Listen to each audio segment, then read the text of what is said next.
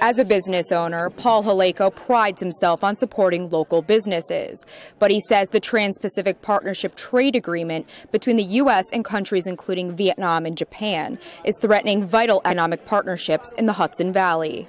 But it's important that free trade be on an equal footing between equal partners. And what you're talking about with some of the uh, countries here, it's not going to be equal footing. And that means, yes, the end farmer is going to be affected. This trade agreement won't impact the beer the Newburgh Brewing Company makes here, but it will impact other aspects of their business. We try as much as possible to support our local farms and our other local purveyors in what we serve from our kitchen.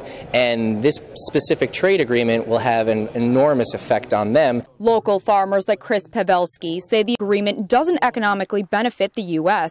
and threatens to hurt the local economy. A lot of cheap produce, it's flooded into our markets, and it's led to um, loss in price and uh, in some cases loss of farms. Congressman Sean Patrick Maloney says he's concerned about the overall economic impact this trade agreement could have on the Hudson Valley. Where is it going to create jobs? I want good jobs here in the Hudson Valley, and we need to stop doing things that ship our jobs overseas. Legislation introduced earlier this month would fast track this trade agreement, giving both the House and the Senate little say on how trade is conducted with these countries. We shouldn't ram it through. We should have a good conversation about this and get it right. And really hurting our local farmers. And if they can't compete, that means they can't exist. And if they can't exist, we can't serve their product. In Newburgh, Meredith Zaritheny, Time Warner Cable News.